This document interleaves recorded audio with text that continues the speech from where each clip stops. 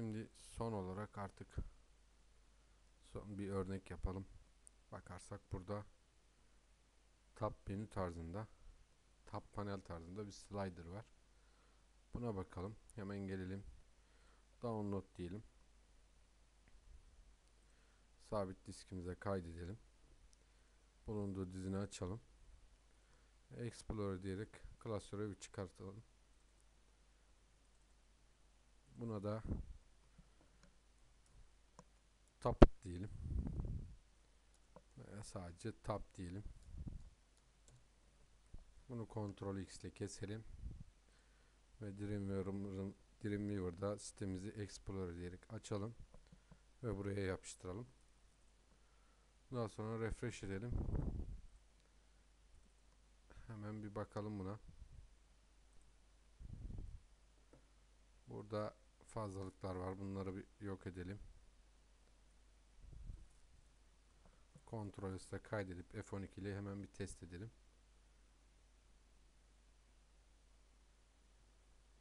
Bunun ikisinin arasındaki fark herhangi bir fark göremiyorum ben ama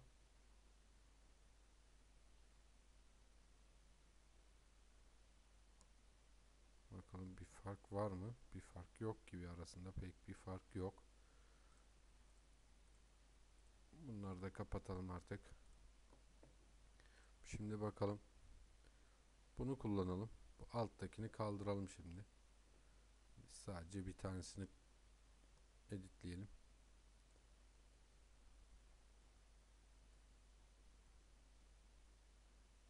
Buradan şu an nereyi seçmişiz? Burayı seçmişiz. Evet doğru yerdeyiz. Ctrl S'e kaydedelim. Çıkarma yaptığımız için hemen bir bakalım. Sistemde herhangi bir bozulma oldu mu? Yok gayet iyi.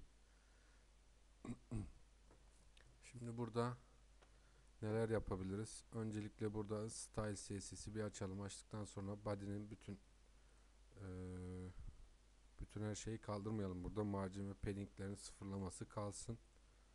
Body'de. Bu şekilde öncelikle fazla CSS kodlarından bir kurtulalım. Content 800 demiş. Genişliğine bir bakalım. Content dediği yer neresi? Burada top content. Bu da content. Bu content'i de kaldıralım. Biz content'in dışına alalım bunu. Bakalım hemen gelelim. Da div class content demiş. Content'i bir kaldıralım. Buradan da bir div'i silelim. Ctrl S'te kaydedelim. Şimdi F5 dersek evet content'ten dışarı almış olduk. Artık content'ten kurtulduk. Başka burada H1 var. Buradaki style CSS'in için artık komple boşaltabiliriz. Herhangi bir sıkıntı çıkmayacaktır. Evet bakarsak sistem hala çalışıyor. Tamam. Peki top content CSS'ten geliyormuş diğer CSS'ler. Ne yapabiliriz burada? Hemen bir bakalım. Öncelikle tapıtı şöyle sağ tıklayalım bir explore diyelim bir açalım. Bunun içindeki img'ye bir bakalım. Arrow down green demiş. Sadece arrow var. Başka da herhangi bir şey yok resim olarak. Biz bunun yükseklik ve genişliğini değiştirebilecek miyiz? Ona bir bak bakalım hemen. Div class tapıt content bakarsak e, CSS'ten geliyor. Satır 1'de 620'ymiş genişliği. Biz bunu 980 piksel yapalım. Sitemizin genişliğiyle aynı olduğunu düşünelim. 980 yaptık. Ee, buradaki bakarsak spanlar var. Bir de tabs var. Spanların genişlik ve yüksekliği nereden geliyor? Genişlik ve yükseklikleri buradan geliyor spanların. O zaman e, ne yapalım burada? 1, 2, 3, 4 tane var. Biz burada spanlar aynen bu şekilde kalsın. Biz content alanını genişletelim.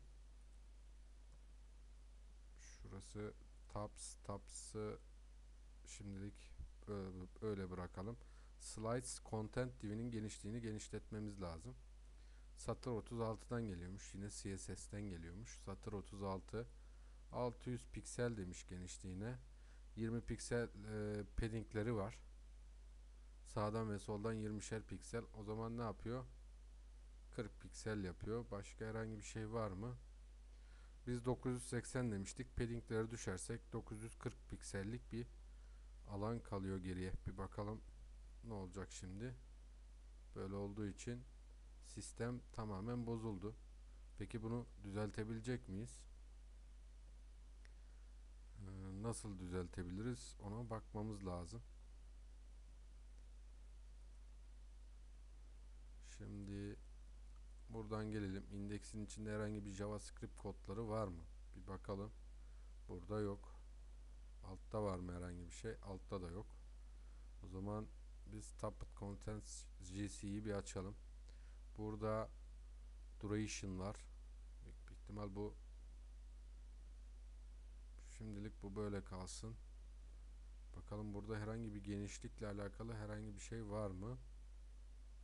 Margin artı piksel demiş. Margin left. Burayı nasıl düzeltebiliriz? Onu bulmamız lazım. Burası slice content. Peki top slider dediği top slider var. Evet UL'ler. Bakarsak buradaki UL'lerin de genişliğini arttırmamız lazım.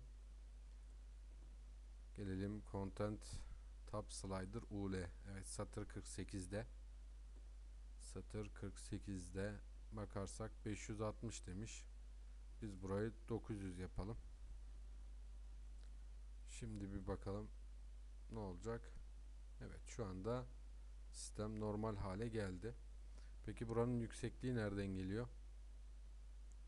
Margin right yükseklik herhangi bir yerden geliyor mu?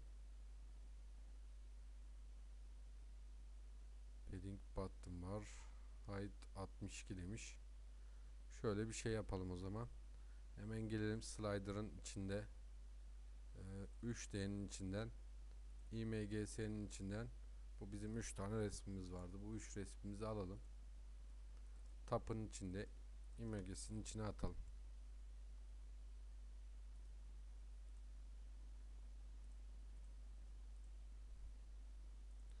Şimdi bunları hemen 1, 2 ve 3 olarak değiştirelim isimlerini. Şimdi artık kodlara bir bakalım. Kodlarda nasıl bir sistem var? Burada tab content demiş. Ve bir spam var burada. Tab item. Peki burada bunlar nereden geliyor? Bu başlıklar tab item lastless post demiş. Buradan gelmiş. Peki lastless post nerede yazıyor ona bakalım. Burada div class bu sabit kalsın. Evet şurası bizim değiştireceğimiz alanlar. Görsel TV diyelim. Bir tanesine diğerlerine de aynısını kopyalayalım, yapıştıralım. Başlıklar buradan geliyor. Yukarıdaki tab kısımları şuraya bakarsak bunlar oradan geliyor. Şu an hepsi görsel TV oldu. Türkçe karakter sıkıntısı var. O kadar önemli değil şu an için. Peki içerik alanlarına bakalım. İçerik alanları da burada. Ee, UL var. UL'nin içinde li'ler var. Burada biz sadece 3 tanesini alalım. Bizim şu an 3 tane resmimiz var. Bu 3 resmi bunun içine veya 4 tane kalsın. Üçünde resim bir tanesinde de yazı olsun. Bakarsak şimdi şöyle ayıralım. Li'ler devam ediyor.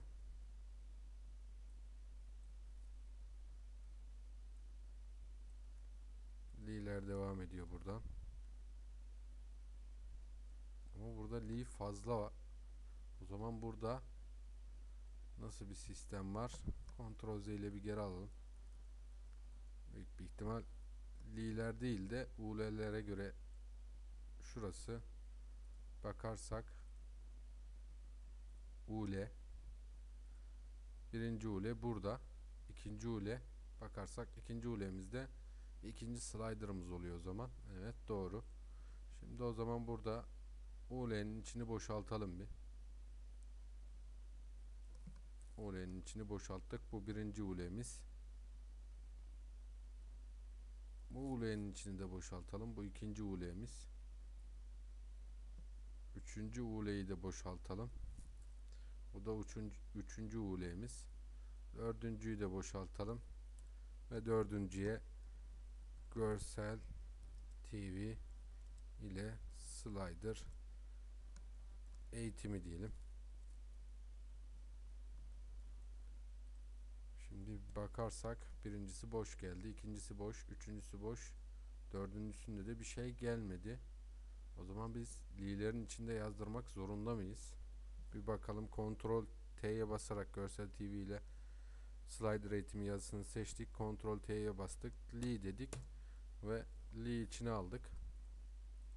Şimdi F5 dersek şu an yine gelmedi herhangi bir şey. Sistem bozuldu. Mecbur olmak zorunda mı? Burada üçüncü UL burası ikinci. Burası da birinci. Şimdi bir bakalım.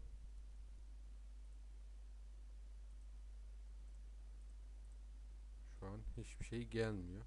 İlginç.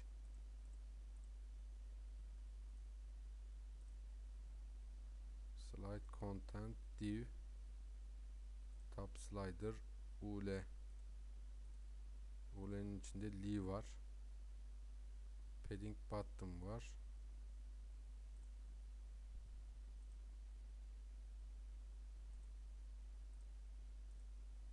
Burada ul ve li'ler var aslında. Peki bu ul'nin içinde şöyle gelelim. Birinci resmimizi şuradan bir atalım içine bakalım ne olacak ve bunu kontrol T ile li içine alalım. F5 diyelim. Bakarsak evet şimdi geldi. Resmimiz geldi ama bizim yazımız nerede? Bizim yazımız gelmedi. Bizim margin ve paddinglerde sıkıntı var o zaman. Bunu kaldıralım yazıyı. Şuradan resmimizi aynen kopyalayalım. Yapıştıralım buraya da yapıştıralım. VT 980 değil 900 olsun. 900 olsun. 900 olsun. Yüksekliği kaldıralım burada. Genişliğe göre yükseklik olsun. 1 dedik 2 dedik ve 3 dedik. Ctrl S ile kaydedelim. Ve şimdi tekrar F5 diyelim. Bakarsak bu şekilde burası çalıştı. Ama şu an dördüncü slider'dayız ve yazının gelmesi lazım. Fakat yazı gelmiyor. Buradaki li'yi kopyalayıp çoğaltırsak bakalım ne olacak. Yazı yine gelmedi. Peki merak ettiğim acaba resmi li'nin içinden çıkarırsak ne olacak? Üçüncü slider'daki tab'daki resmi li'nin içinden çıkardık. Herhangi bir sıkıntı yok. Bizim sadece yazılarda sıkıntı var o zaman. Burada li'yi kullanmamıza gerek yok.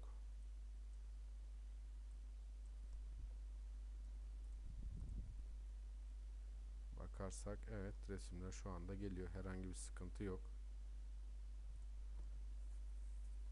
Buraya şuradan gelelim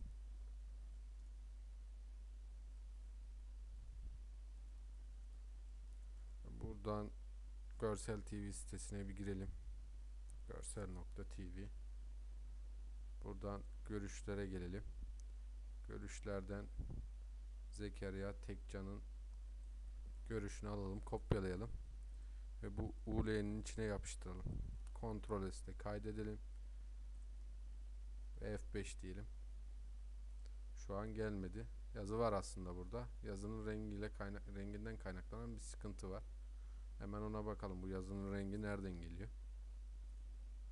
bakarsak burada top slider UL satır 48 liler ve lileri kaldırdığımız için görünmüyor. Li ve linkleri kaldırdığımız için satır 48'e gelelim. Satır 48'de color diyelim. Rengini DS FFF yapalım. F5 diyelim. Şimdi bakarsak artık bizim yazımız geldi. Ben şuradan e, modify diyelim. Pardon.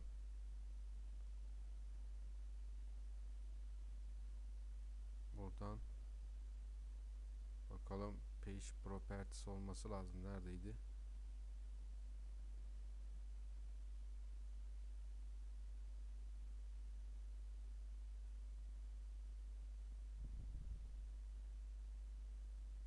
View'de değil, edit'te. Burada da değildi.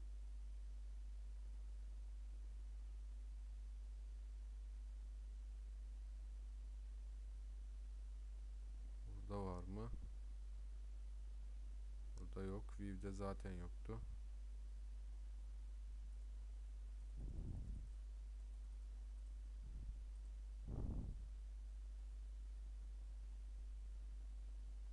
Modify'da olması lazım. Evet, Modify'da en üstte, en altta diye hatırladım ben birden.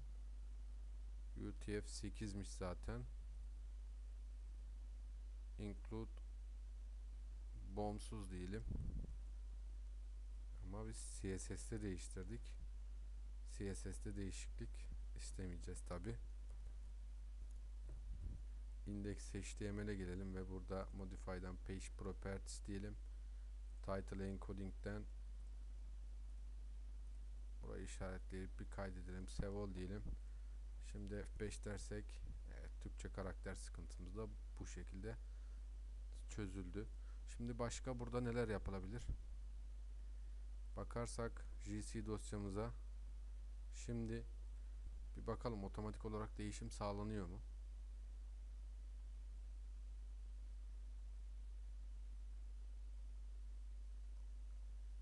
Galiba otomatik olarak değişim sağlanmıyor. Onunla ilgili herhangi bir option var mı? Onunla ilgili herhangi bir option da yok galiba. Bakalım. Onunla ilgili herhangi bir option yok. Peki buradaki 300 neyi ifade ediyor o zaman? Bu 300'ü 10 yaparsak burayı da gelelim 10 yapalım. Ctrl S ile kaydedelim ve F5 diyelim. Şimdi bakarsak daha hızlı bir geçiş oldu galiba. Burayı 1000 yaparsak farkı görmek açısından F5 dersek bakarsak çok yavaş bir şekilde bir geçiş sağlandı. Bu şekilde de olabilir. Şimdi burada başka ne yapabiliriz? F12 diyelim ve buradan bu div class tabs bu tabs divini 6 alabilir miyiz? 6 alırsak daha farklı bir görüntü elde edebilir miyiz? Bakalım. Div class tabs demiş. Ve div burada bitmiş. Bunu Ctrl X'te keselim. Ve bizim bakarsak tabs slider, tabs content Ctrl Z ile bir geri alalım. Evet. Burada iki e, şu divden sonra başlatmamız lazım. Bakarsak bu div şuranın sonu. Bu divde buranın sonu. Şundan sonra tapsı bir yapıştıralım bakalım ne olacak. Alta gelecek mi? Firebug'ı kapatalım. Evet alta geldi. Tamam. Ee, biz bu şekilde olmasını istedik fakat şimdi şöyle bir şey yapmamız lazım ee, öncelikle burada bakarsak arrow down green vardı. Bunu birlikte aç diyelim. Şuradan Fireworks'ı açalım.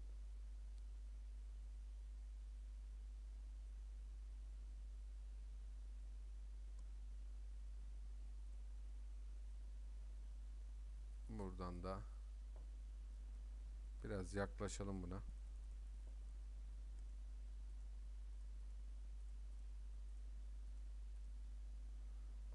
Yaklaştık. Şimdi bunu tıklayalım. Q ile seçelim. Seçtikten sonra bir ters çevirelim. Biz tam tersini istiyoruz ve kontrol ile bir kaydedelim. Kaydettikten sonra F5 dersek bir daha F5 dersek şu an yukarı doğru oldu. Tamam. Şimdi tab item tab itemde bu nereden geliyor? Arrow down. Bir bakalım. CSS dosyasına arrow down nereden gelmiş? Evet arrow down burada. Bottom left demiş. Moving BG. Burada bir bakalım neler yapabiliriz. Bunu istediğimiz yere alabilecek miyiz?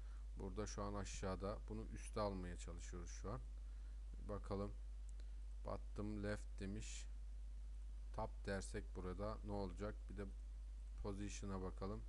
125 z index 100 demiş. Box'tan herhangi bir şey yok. All diyelim. Ve F5 dersek bir daha F5 diyelim. Herhangi bir şey değiştirmedi. Burası span. Burası da background color'ı var. Oradan geliyor. Şimdi width'i 125 tamam. Z indeksi 190. Bizim şu an hala left bottom olarak alıyor. Satır 11. Bir bakalım satır 11'de değiştirdik biz onu. Bottom değil top yaptık. Ama sistem kabul etmedi galiba. Top diyelim. Şimdi bir bakalım. Evet şu an üste geldi. Tamam yapmak istediğimiz de buydu. Şu an bu şekilde bir slider elde ettik. Şöyle yavaş bir geçişi var yine. Şimdi burada bunun boyunu e, yüksekliği nereden geldi bir bakalım. Tops yüksekliği 62'ymiş. Bunu bir 61'e yapalım. F5 diyelim.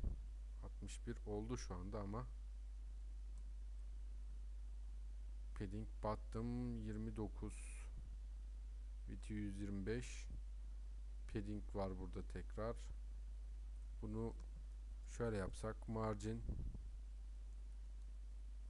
tab desek ve eksi bir piksel desek bir piksellik bir dışa kayma var galiba burada. Onu yok edebilir miyiz? Evet yok ettik veya burada eksi bir demeyelim sıfır diyelim bakalım ne olacak? Tekrar F5 diyelim. Evet sıfır dersek daha güzel bir görüntü elde ettik bence. Burada başka ne yapalım? Padding bottom 29 demiş. 29'u padding bottom değil de padding top yapalım biz burada. Yazının ortalanması için. Şu an yazı aşağıda olması lazım. Gelmedi. Peki top item color beyaz demiş. Text healing center demiş. Burada bakalım şuradan Firebug'ı açalım. Görsel TV yazısında ortalamak istiyorum ama span itemler padding Position Z index 200 demiş. Padding 15 piksel demiş. Burada span normalde biraz aşağıda çıkması lazım. Span dediği de bakarsak top item klası top item. O zaman ne yapalım buna margin top diyelim ve 15 piksel diyelim. Arrow down'umuzun boyutu 14'müş yüksekliği. Biz 15 dedik. Tamam. Şimdi bir bakalım ne olacak. Evet şu an yazıda istediğimiz yere geldi.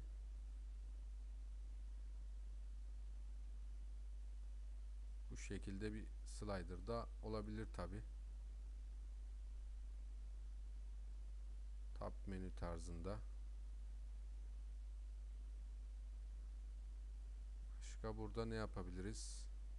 Burada herhangi bir option verilmemiş. Option'lar verilmiş olsaydı biraz daha değişiklik yapabilirdik aslında. Başka bir şey şu an için aklıma gelen bir şey yok. Yine arka plan rengi değişebilir. Artık onlar CSS ile yapılabilecek şeyler. Ee, daha sonra buna border radius verilebilir. Ee, başka burada şu an için aklıma gelenler bunlar. Artık bunları bu şekilde bırakalım. Bir sonraki derste de dinamikleşti e, e, bu slider'ları yaptığımız slider'ları dinamikleştirmeye çalışalım. Eğer panel admin panelli bir site yapıyorsanız dinamikleştirme e, iyi olacaktır. Bir sonraki derste görüşmek üzere.